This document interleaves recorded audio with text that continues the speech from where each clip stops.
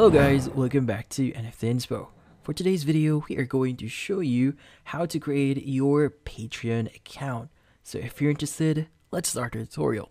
So before we create our account, what is Patreon? So there are multiple benefits on actually using Patreon. So one of those benefits is the two different type of creators. So creators, whether they are artists, writers, musicians, podcasters, or any other type of content creator can set up their own page and Patreon.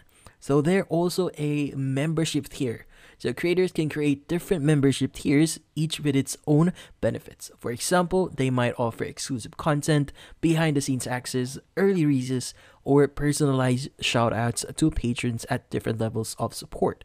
Now there are or there is also a patron support. Now fans or patrons can choose a membership tier that aligns with the level of support they want to provide.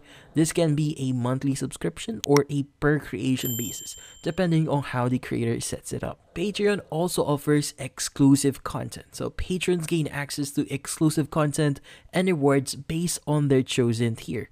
This creates a sense of community and special connection between the creator and their most dedicated supporters. Patreon also offers communication. So Patreon provides a platform for creators to communicate directly with their patrons. This can include sharing updates, engaging in discussion, and even seeking on input on future projects. And lastly, Patreon also offers financial support. So creators receive financial support from their patrons which helps them sustain their creative endeavors. This support can be crucial for creators to focus on their craft without relying solely on traditional forms of income. Now, Patreon has become a popular platform for a wide range of creators, so allowing them to turn their passion into a more stable and sustainable career while fostering a closer relationship with their audience. Now, in this case, how do we actually create our Patreon account? So first thing that we need to do here is we need to open up any browser that we have on our PC. Now in here, we need to go to patreon.com and in here at the top right, you should be able to see a button that says get started. So in this case, go ahead and click on get started. And from here, you'll have different options on actually creating your account. Now we have the Google account method here, the Apple account, or with Facebook. Now we also have the manual way here wherein you need to enter your email address and fill out additional fields if needed.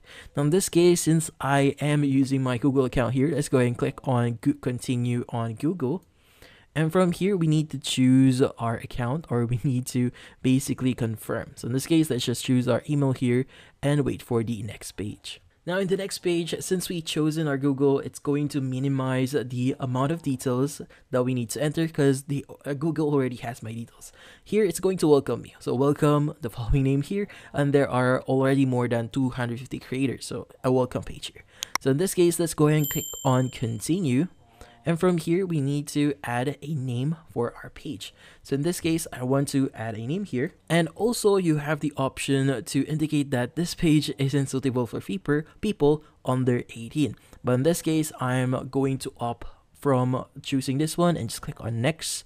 And from here, we have the option to add social. So we have YouTube here, Instagram, Twitter or X, Connect Facebook, or Connect Twitch. In this case, I want to click on Connect YouTube. And from here, I need to choose my account. Now here, it's going to further ask permission. So let's go ahead and click on allow. And from here, just click on continue. And from here, you should be able to be redirected into your page or my page section here in Patreon.